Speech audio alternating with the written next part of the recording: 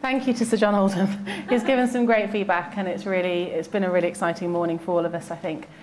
Um, my next team that I really want to thank are my North team, um, the integrated care team. I want everyone to give them a really big round of applause because they've been fantastic. I'm not making you stand up.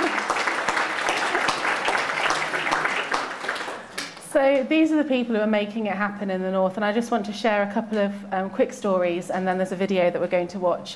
Um, there's been a few questions, specific questions about how this works in practice. Well, the afternoon session after this, we'll be looking into how is this going to look for all of you as it's rolled out. Now, the West have got their team up and running over the last few weeks, which has been a really exciting time for all of us. And in the north, um, we started off in January with our first MDT meeting where everyone sat nervously around a table and wondered what on earth we were doing. Um, and we generated a list using the Devon tool of our riskiest patients in Clipstone. And there were lots of them. Um, and we all scratched our heads and started talking about these individuals. And I'd like to tell you about a lady called Pam. Um, she's told me I can use her name. She was Mrs. X, but that just sounds a little bit weird. Pam's risk of a readmission or some sort of crisis happening in the next 12 months was 97.8% um, when we first looked at her. I'd been looking after for the last three or four years. She's got complicated health needs, complex lung disease, heart disease, Addison's, and myself and Lisa, the community matron, had been visiting her regularly, trying to help keep this lady out of hospital. She was in hospital every few weeks she'd be in for maybe a month or just a week and two or three weeks later she'd be back in hospital again with pneumonia or with just general respiratory difficulty her addison's playing up who knows what she was in and out of hospital. Every winter for the last four years she's had pneumonia three or four times needing hospital admission every time. And when we first discussed her i do think we all sort of went ooh what do we do? But gradually there were little bits of oh, I wonder if she needs work with her anxiety. Maybe we can do some work around her chest, physio, her coughing, what's her breathing like.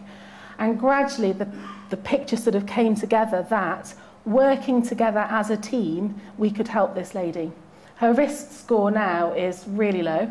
Um, it had dropped down to 73%. It's now almost not even, we can't even see her on the risk register.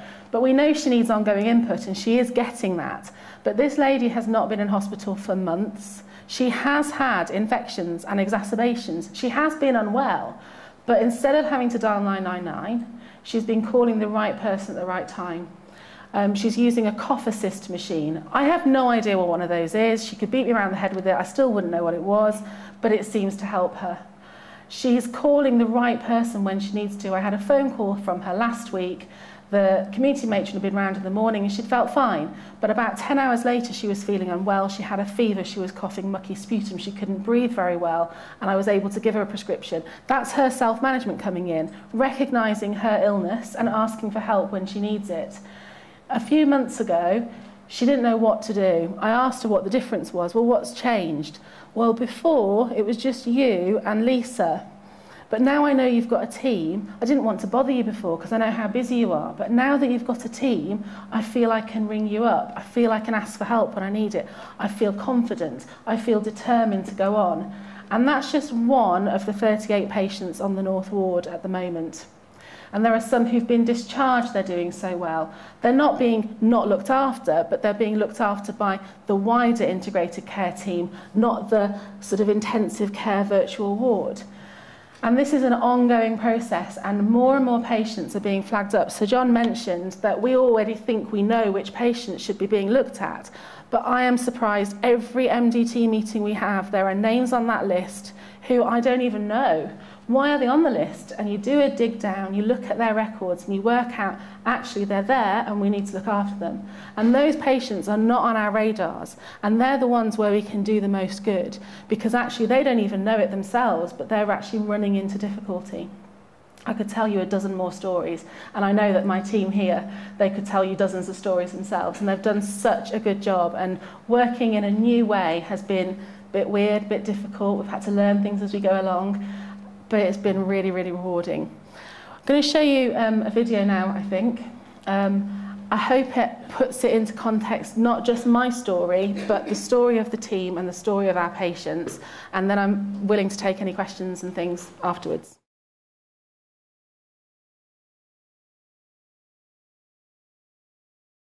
one of the barriers initially was just literally getting to know one another and working out who does what and who can do what.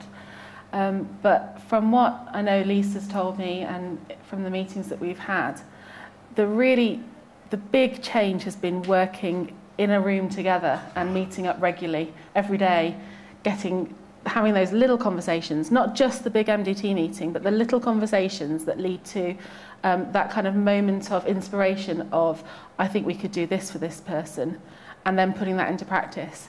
And I tell you what, when you're in the MDT meeting and, I, and we have this combined knowledge, it's extremely humbling. As a GP, I'd like to think I know everything, but I really, really don't. And there are amazing things that this team have done already in just the few short months that they've been up and running.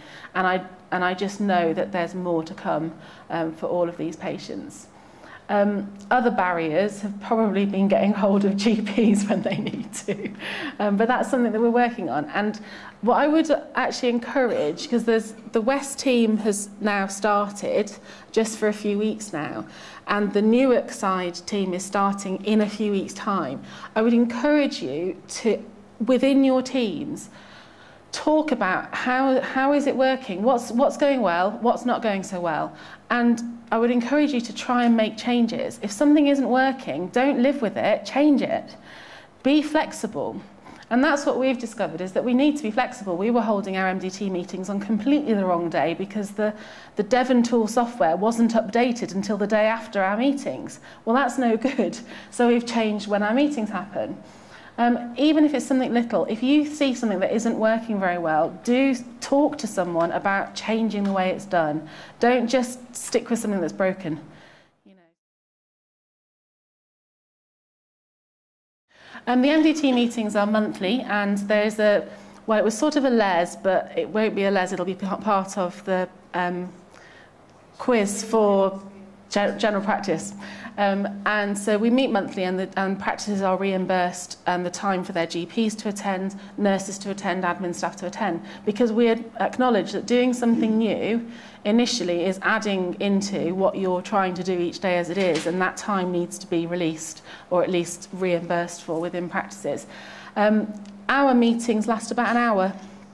I probably do about an hour's prep before each meeting where I look through the risk tool myself, identify which patients are going to need discussion. It actually makes the meeting run much more smoothly if someone's done a bit of prep beforehand, um, rather than in the meeting with everyone there trying to rifle through notes and work out who, who is who and what's going on there. Um, but actually having that hour long meeting once a month radically changes the way you look after your patients the rest of the time. And I can say from experience, my visits have gone down.